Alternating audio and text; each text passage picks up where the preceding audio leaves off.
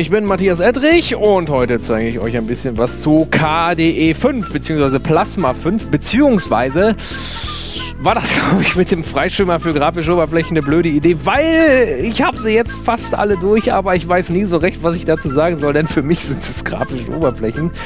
Ich kenne das Ganze ja schon und es ist unfassbar schwer, irgendwie Features hervorzuheben oder das Ganze zu erklären, wenn man schon weiß, äh, was das ist und wie das geht.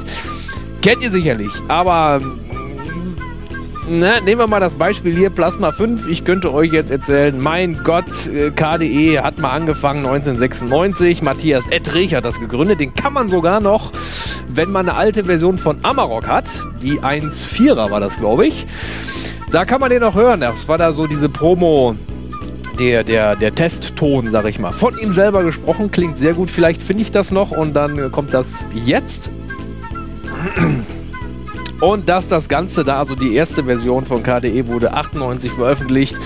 Und 1999 gab es dann eine lizenzfreie Qt-Version, denn das Ganze basiert ja auf Qt, das war alles so ein Lizenzgedöns, also ein kostpflichtiges Dings, deswegen wurde ja GNOME mal gegründet, das Ganze hatten wir ähm, im letzten Video mal. Und dann ist das Ganze so entwickelt und rumgemacht worden. Und jetzt befinden wir uns hier. Plasma 5 ist das Ganze die neueste Version. Im Moment, was man hier sieht, ist eine Beta-Version.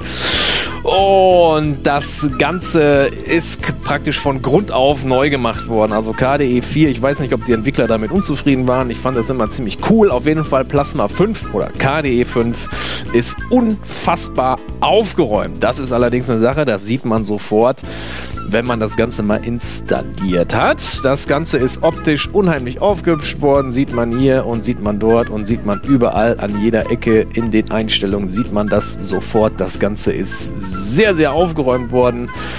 Die Menüs wurden alle zusammengelegt und hin und her geschoben, einiges ist weggefallen und so weiter und so fort. Funktionsumfang funktioniert noch nicht ganz so toll. Man kann zum Beispiel in dem Dateimanager die Dateien nicht direkt entpacken oder ein Screenshot kann man nicht mit der Drucktaste machen. Da braucht man jetzt noch externe Programme wie Jim für und so weiter und so fort. Was sich unter der Haube getan hat, da möchte ich euch mit verschonen. Denn es geht ja wie in jedem Video um den Anwender, der möchte wissen, was ist neu und was ist anders.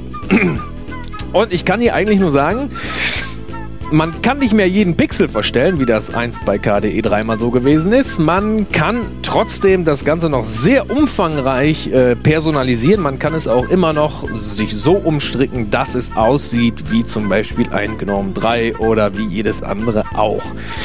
Das, das Ganze läuft unheimlich flüssig, wirklich wie gecremt. Und das Einzige, was man wirklich herausstellen muss, ist, es sieht gut aus. Und da bin ich im Grunde schon fertig. Ich weiß wirklich nicht, was ich jetzt noch großartig zu Plasma 5 sagen soll, außer es ist wirklich unheimlich schick. Wie aus einem Guss. Wunderschön. Es gibt noch die Aktivitäten, da hat sich nichts dran getan. Das Video übrigens, wo ich auf diese ganzen Features von KDE eingehe, die, das Video verlinke ich unter diesem Video und wie gesagt, es hat sich im Grunde nichts getan. Man sieht aber schon sehr deutlich, alleine wenn man hier auf dem, auf dem Hintergrundbild ändern Modus ist, es fällt sehr, sehr viel weg. Es gibt nur noch ein Layout statt dieses Aktivitätengedöns, eine Dia-Show. Was ist eigentlich Hähnau?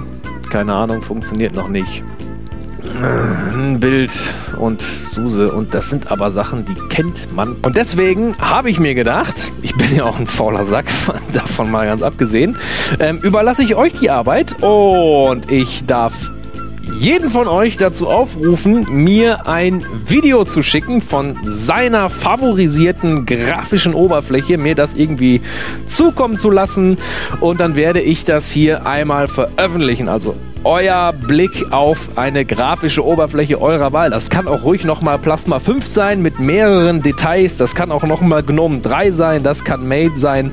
Alle grafischen Oberflächen, die es so gibt. Ist natürlich unter Linux laufen. Ob das jetzt OpenSUSE ist oder Ubuntu, ist mir völlig wurscht.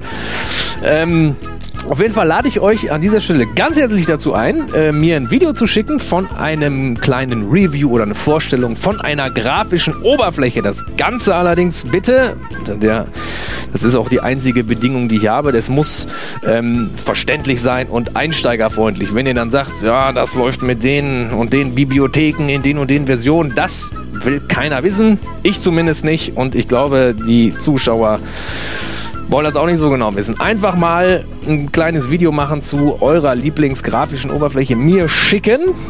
Und vier von euch, vier Leute, die da mitmachen und mir ein Video von einer grafischen Oberfläche schicken, die bekommen von mir die Boxed-Version von OpenSUSE 13.2. Das Ganze, was ich Weihnachten schon mal ausgekloppt habe. Also jetzt als kleines, äh, als, als einen Bonus für die, die mitmachen.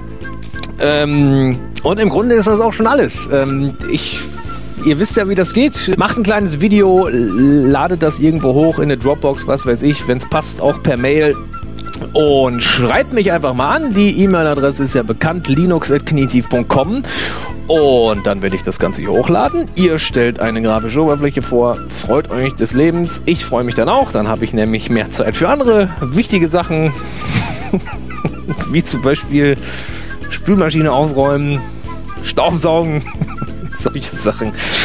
Wie gesagt, vier von euch, das Ganze auch nach Zufallsprinzip, können dann ein, kriegen dann einen kleinen Bonus.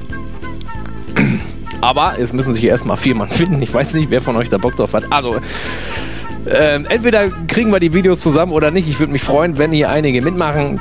Also, Stage is yours. Ich äh, bin gespannt, was da kommt. Und ihr werdet dann sehen, ob sich da überhaupt jemand dran beteiligt. Ich würde mich sehr freuen. Also bis dahin. Danke für die Aufmerksamkeit. Plasma 5 ist übrigens äh, cool. Ich zeige euch auch unter dem Video, wie man das Ganze auf OpenSUSE installiert. Ähm, ist gar nicht so schwer. Es funktioniert allerdings nicht neben KDE 4, also entweder KDE 4 oder Plasma 5. Beides geht nicht, weil die so ineinander gemoppelt sind. Das tut's halt nicht. So, auf jeden Fall. Mh, hm, tschüss.